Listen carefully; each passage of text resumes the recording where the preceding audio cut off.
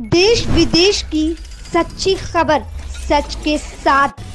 आप देख रहे हैं नेशनल इंडिया न्यूज़। बिहार में अब नई सरकार बनने की तैयारी शुरू हो गई है।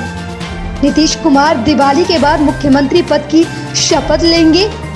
इससे पहले तैयारियाँ जारी है और बैठकों का दौर शुरू हो गया है।